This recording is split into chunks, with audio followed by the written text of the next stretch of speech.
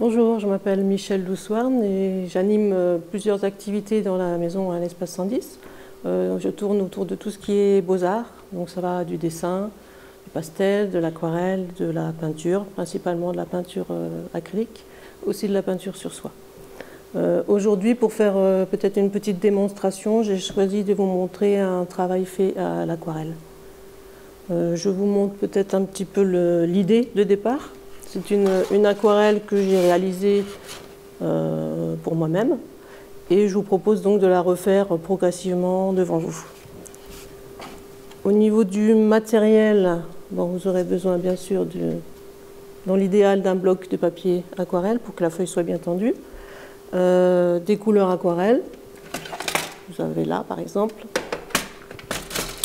quelques petits pinceaux, des assez gros pour plutôt mouiller, mettre euh, beaucoup de couleurs, des pinceaux un petit peu plus petits et jusqu'à tout tout petit pour le détail. On démarrera par un, on monte là-dessus un petit peu, euh, par un encadrement fait avec du, scotch, simplement pour éviter que la couleur aille partout. Et après, un tout petit dessin euh, de départ au crayon pour situer juste les emplacements des fleurs. Voilà, je pense qu'on peut démarrer. Voilà, nous allons commencer par euh, protéger le bord avec un scotch et aussi un scotch sur le milieu, sur le côté, à peu près par là.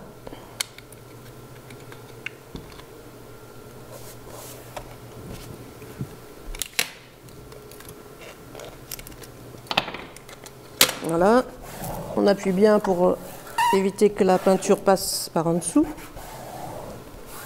et on va préparer les couleurs pour faire le fond en premier. Donc je démarre par un fond avec deux couleurs, un ton un peu beige, un ton un peu plus grisé. Donc je prends un pinceau, là celui-ci, et je vais donc piocher ce ton un peu ocre que j'ajoute dans l'eau. Et je teste sur un petit papier pour voir si la teinte me satisfait. Voilà, c'est pas mal. Je vais faire la même chose avec ma deuxième couleur.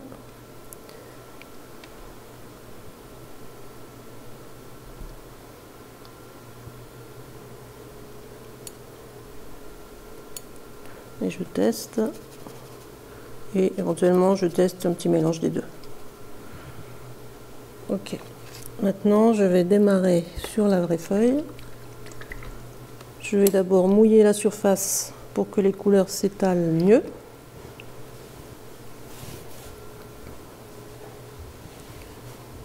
Donc là, il ne faut pas avoir peur, vraiment à grand eau. Le papier, il aime bien l'eau.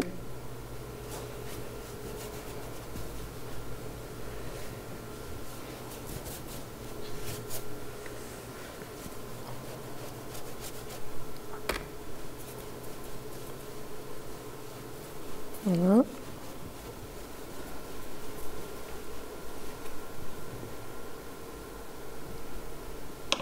Juste essuyer un petit peu ce qui déborde.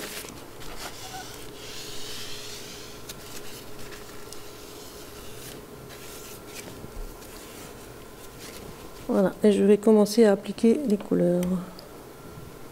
Donc je vais commencer par la couleur qui me semble la plus lumineuse.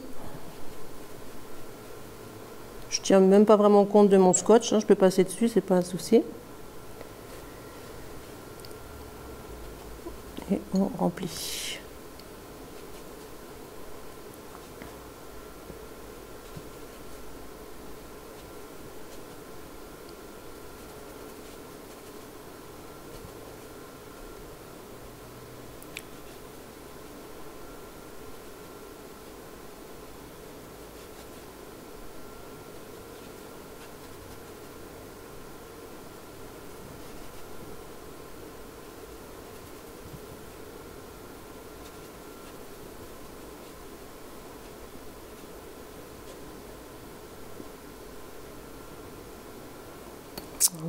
vais un petit peu bouger mon papier pour euh, essayer de que les couleurs se répartissent euh, de façon harmonieuse.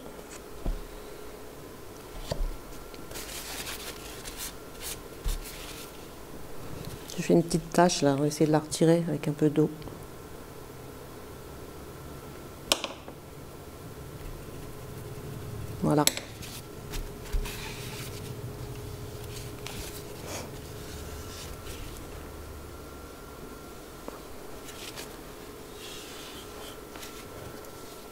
Fonction du résultat visuel, on peut soit faire un apport d'eau si on veut, par exemple, euh, éclaircir une zone, pourquoi pas, un petit peu d'eau. Je peux renforcer la couleur si je pense que ça manque un petit peu.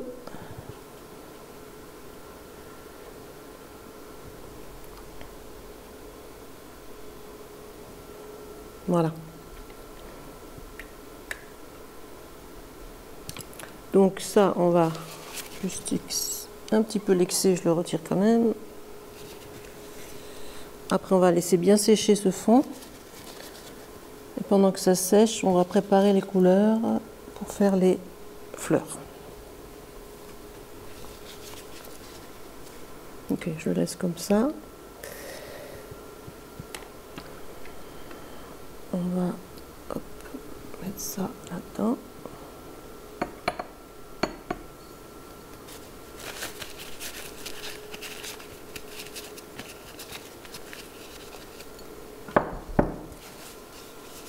Pour les fleurs, j'aurais besoin d'un ton rouge et d'un ton un peu plus jaunâtre, on va dire.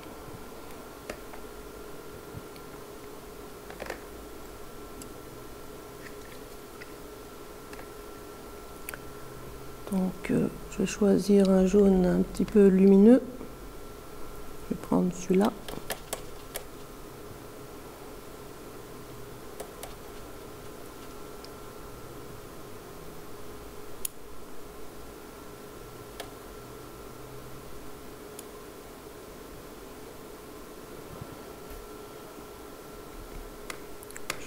Rouge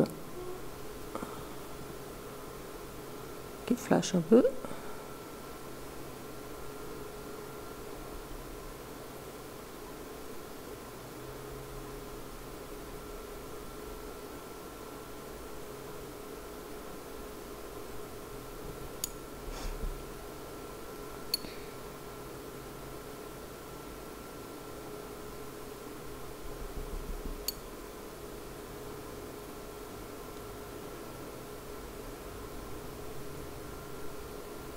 Pareil, on peut éventuellement vérifier la couleur.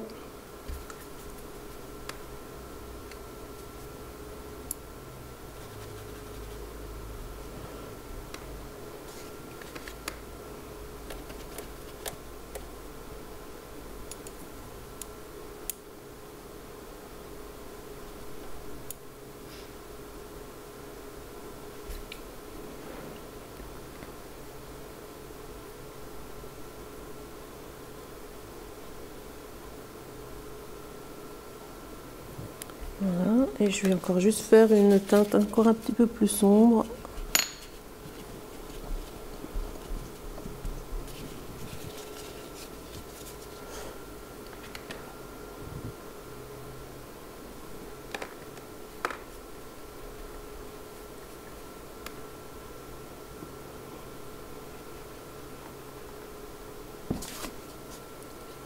Ouais, ce serait pas mal.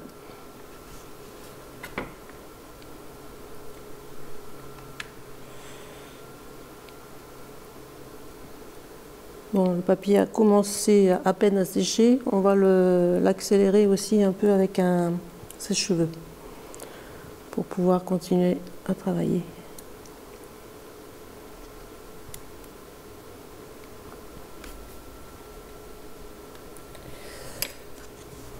on, voit que ça, on voit que ça brille encore. Hein. Tant que c'est bien brillant, c'est que le papier est quand même bien mouillé.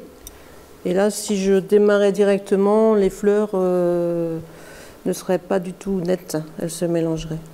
Donc je sèche.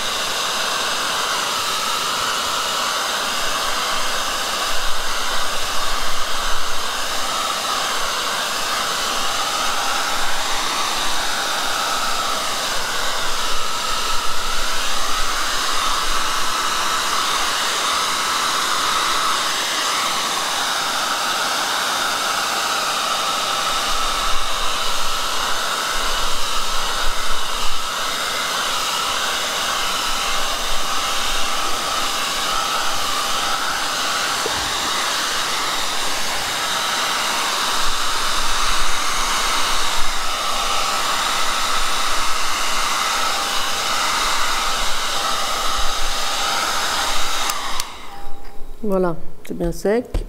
Le papier est un peu chaud, ça veut dire que c'est bien sec. Alors, pour faire ces fleurs, on va peut-être faire un très léger dessin pour les, les situer un petit peu.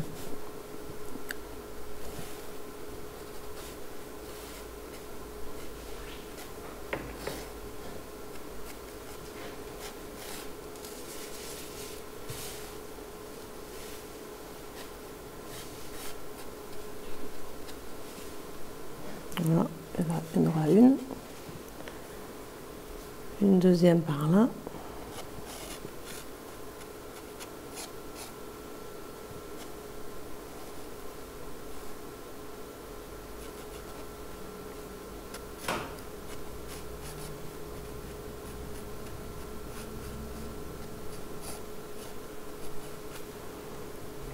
Une petite troisième ici.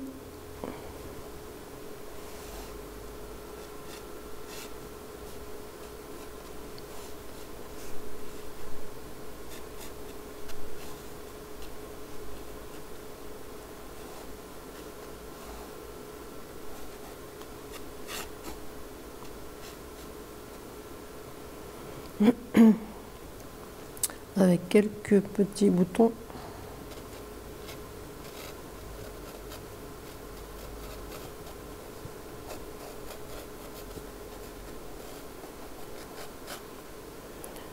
Et de l'autre côté.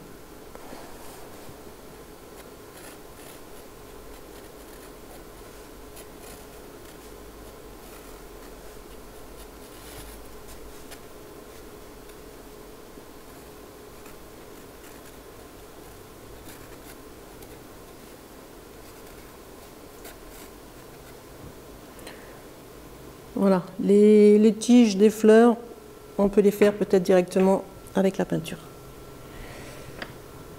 Donc on va continuer, on va dire pétale par pétale, à remplir un peu tout ça. Donc d'abord, on va commencer par la teinte un petit peu jaune. Et on va passer progressivement le rouge aussi. Donc en gros, je vais faire euh, morceau par morceau et je vais attendre à chaque fois que chaque morceau sèche avant de faire un morceau qui touche pour éviter toujours pareil qu'il y ait trop de mélange là où on n'a pas envie.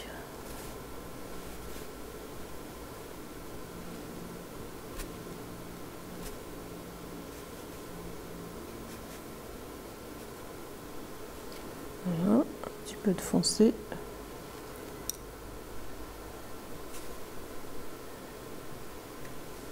Voilà, on va dire que là, ça serait un morceau. On va faire le même principe pour les, pour les autres. Donc là, je vais laisser sécher celle-ci et je vais démarrer une autre ailleurs.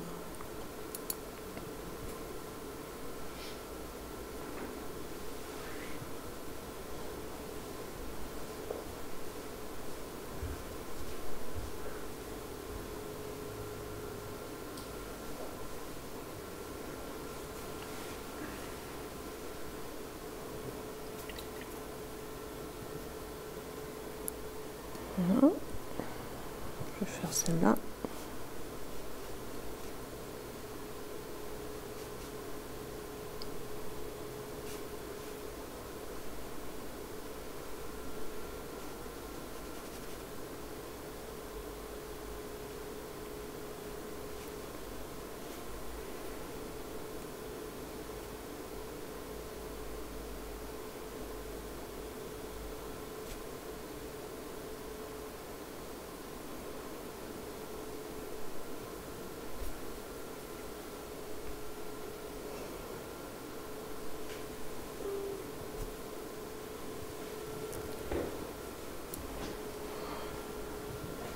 Alors, on va faire un petit bouton.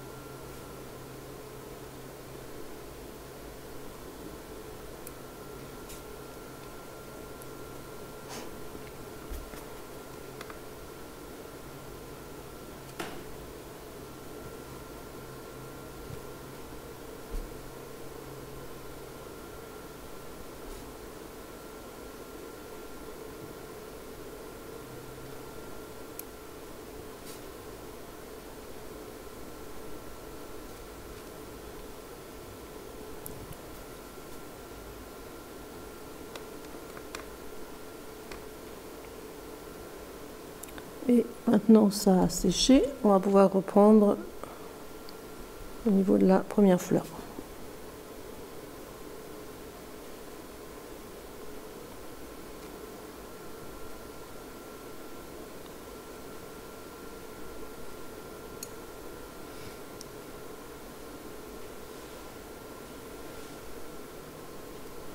Donc pareil, là par exemple, hein, j'ai débordé sur le scotch, c'est pas un souci, en final, ça se verra plus.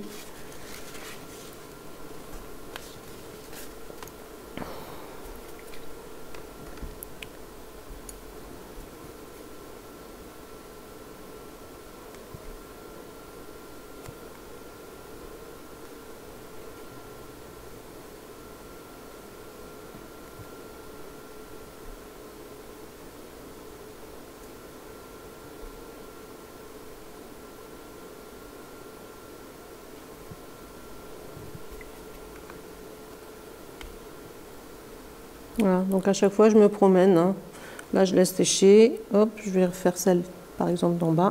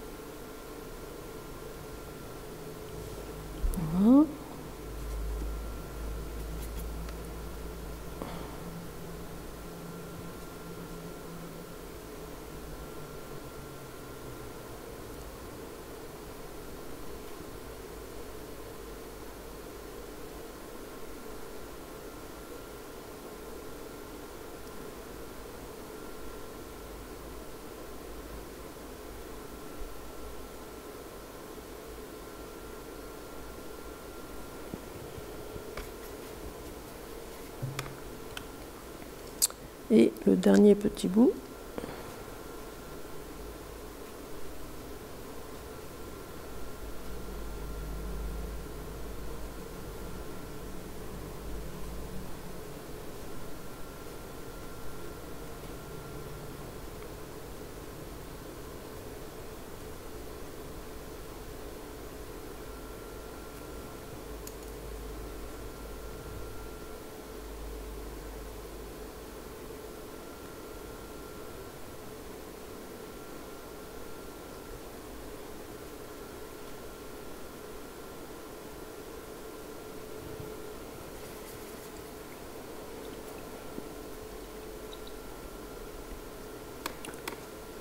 Alors maintenant, on va préparer des tons un petit peu verts pour faire les, petites attaches là, des, boutons.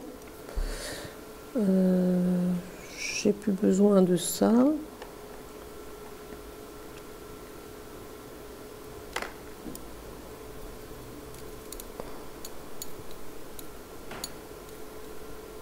Alors, un peu de vert, avec celui-là.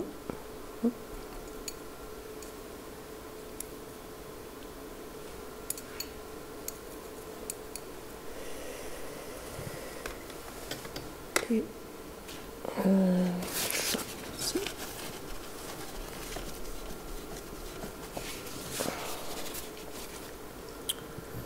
pour faire un deuxième verre un peu plus sombre.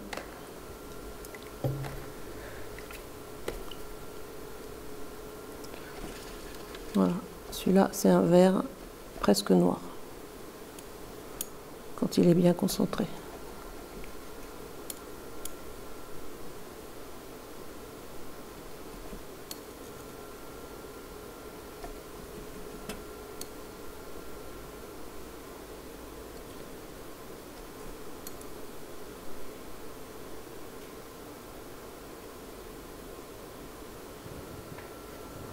Alors, on va, là c'est sec, on va pouvoir faire les petits boutons.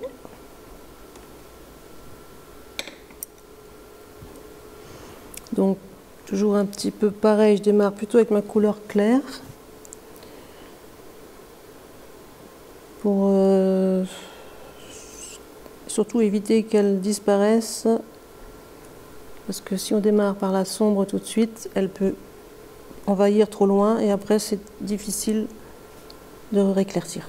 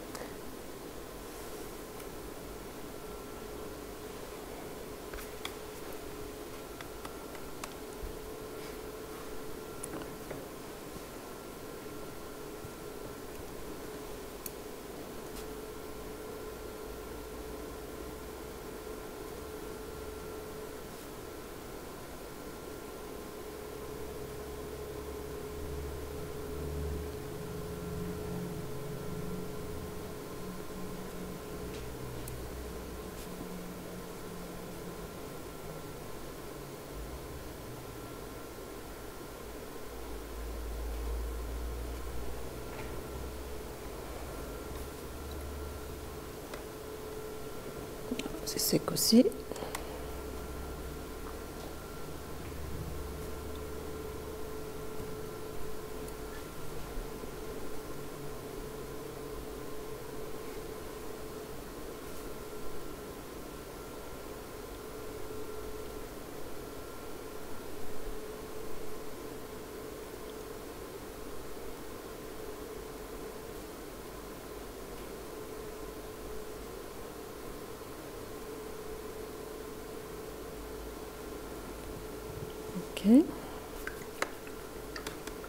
Alors, pendant ce temps, je pense que les fleurs euh, ont séché aussi. On va peut-être s'occuper des, des cœurs de fleurs.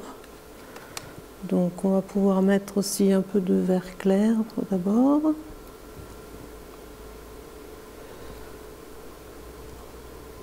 Qu'on laissera sécher. Et après, on fera des petites touches noires.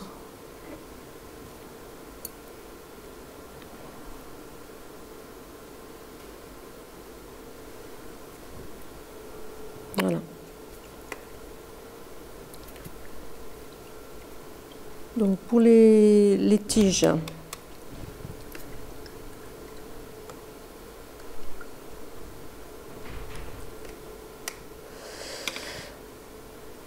euh, je vais euh, préparer peut-être aussi une couleur.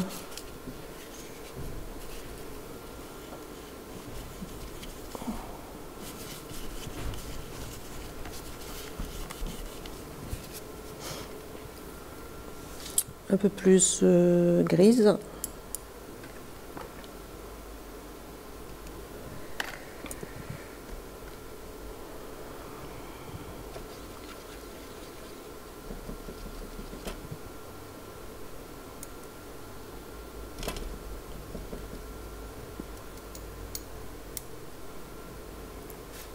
Voilà, donc ce serait cette couleur. Ok.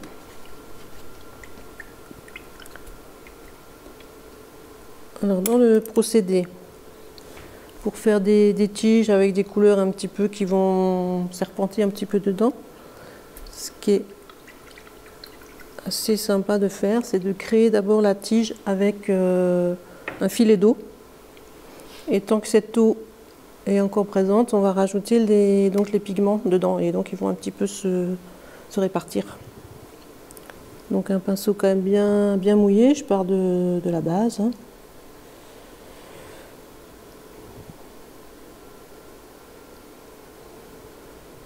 peut-être pas chose. J'ajoute un tout petit peu de couleur pour qu'on voie quelque chose. Mais vraiment hyper clair, hein. juste euh, histoire de créer la forme.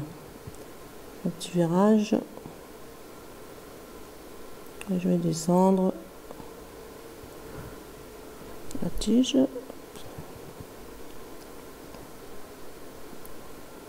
Voilà. Donc là, c'est vraiment euh, très très très très mouillé. Donc je peux profiter pour rajouter. Et ça va partir un peu tout seul, des touches de couleur. Voilà, et ça part. Et ça va un peu tout seul dans la, dans la tige.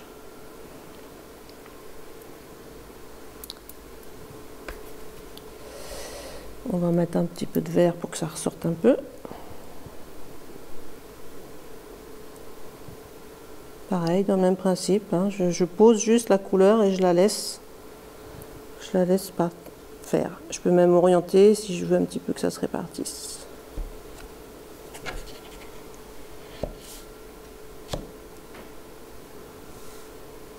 Voilà. On va faire une deuxième.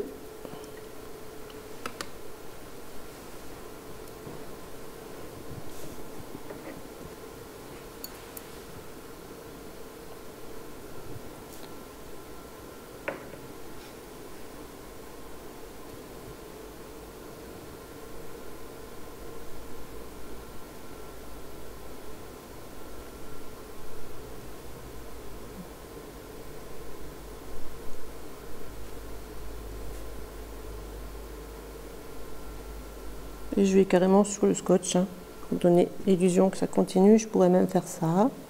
Ça partira après. Et donc continuer ma tige. Comme ça, on est sûr qu'elle vient au bon endroit.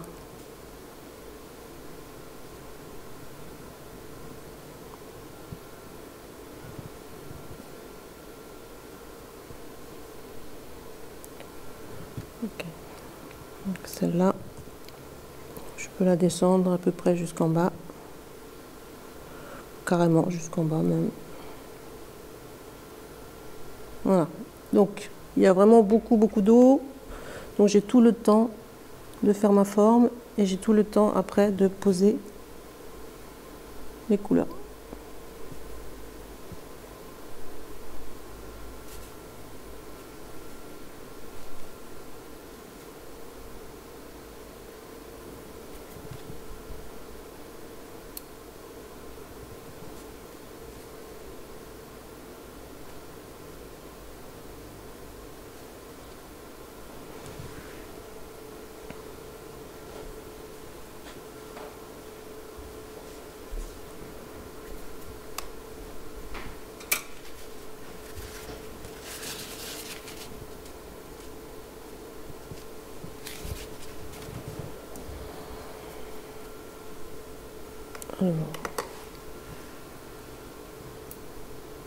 Un par ici.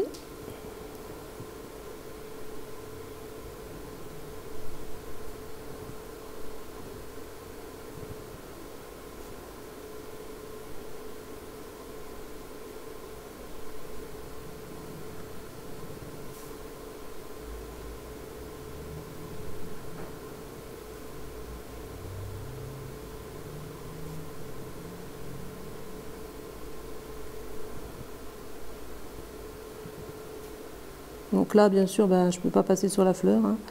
Je vais passer comme ça doucement derrière.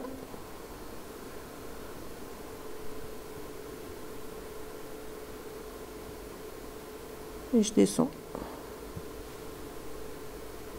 Alors, si vous estimez que vous n'avez pas trop le temps d'aller encore jusqu'en bas, on peut s'arrêter là. Commencer à mettre les couleurs.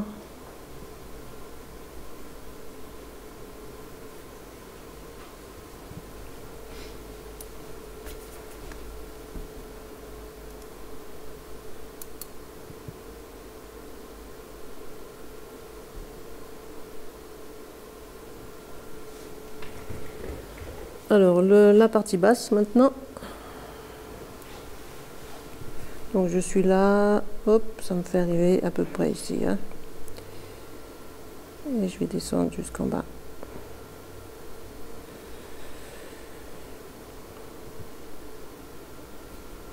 Voilà, un peu de gris.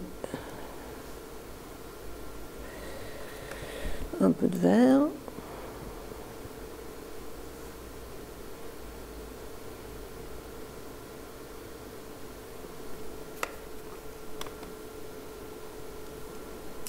Après, on va faire celle-ci. Alors celle-là, on va la faire tourner un peu vers l'extérieur.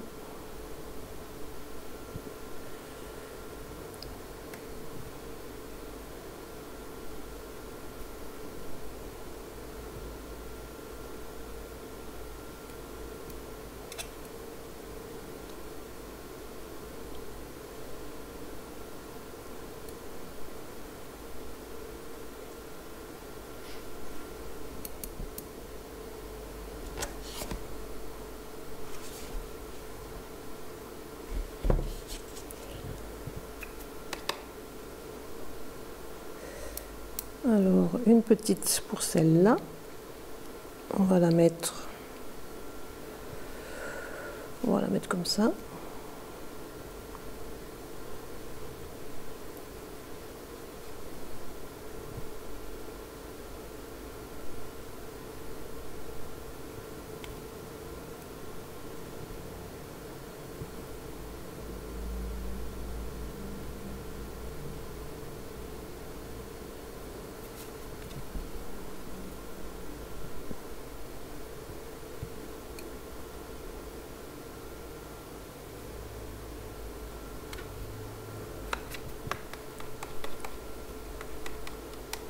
Et encore une dernière.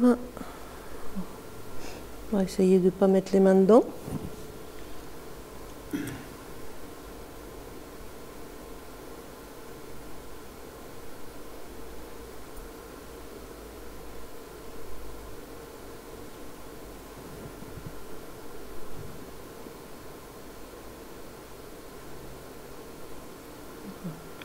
ce qui est vraiment important dans cette technique pour les tiges, c'est vraiment de piocher très souvent au départ de l'eau, de l'eau légèrement teintée, c'est plus facile aussi.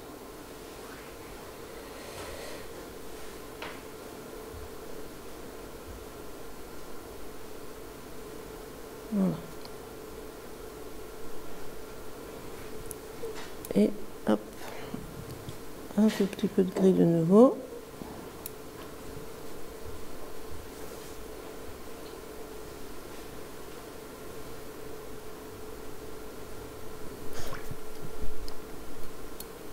Et une petite touche de vert.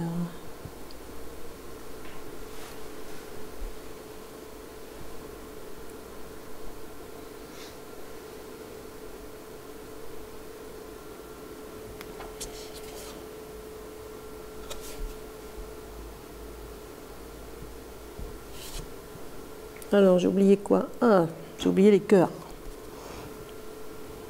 Alors, on va rajouter un petit peu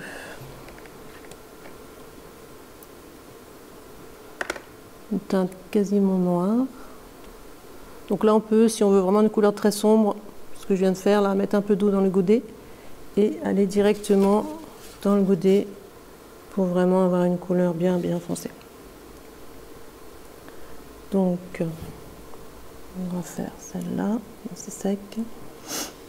Donc là, je vais longer parce que le cœur est à l'intérieur. Et puis, je vais faire plutôt des petits points quand je m'éloigne.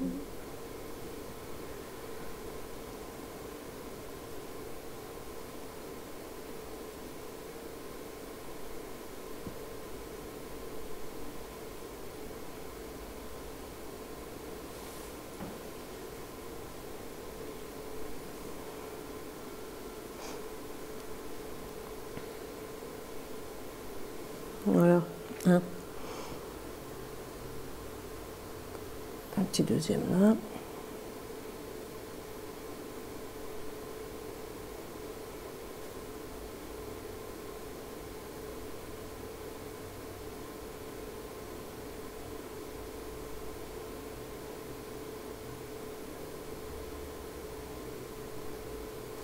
Voilà. Et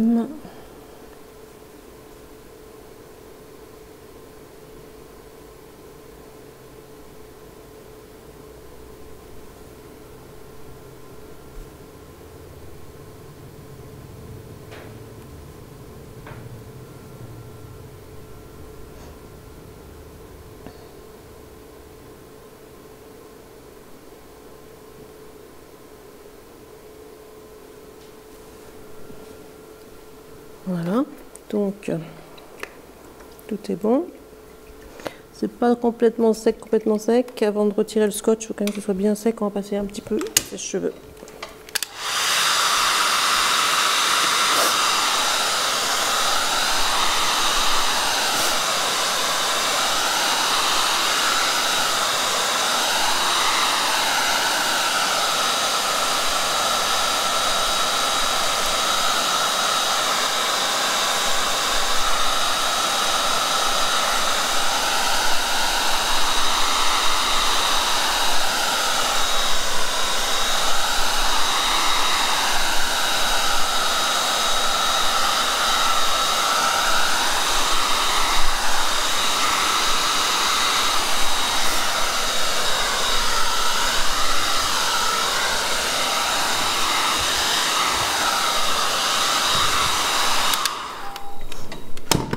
Alors maintenant, on va essayer de déscotcher un petit peu tout ça.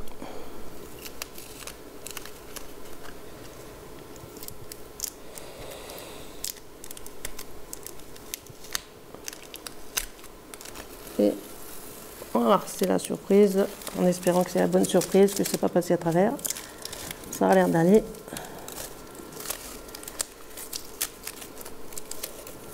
Donc là, on voit bien le rouge sur le scotch. Et voilà, c'est tout clean.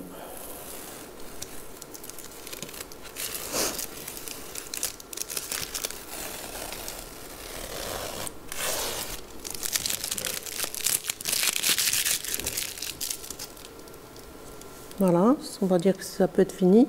On peut, si on veut fignoler, passer un petit coup de gomme, là où c'est bien sec. Hein. Si on a un peu de crayon qui nous embête.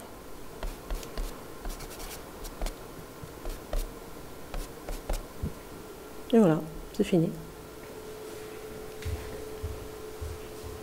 Voilà, l'aquarelle est terminée. J'espère que ça vous a plu et que ça vous donne aussi envie de faire par vous-même euh, le genre de choses. Euh, peut-être nous reverrons-nous euh, très bientôt ou pour les nouveaux peut-être à la rentrée. Au revoir, à bientôt.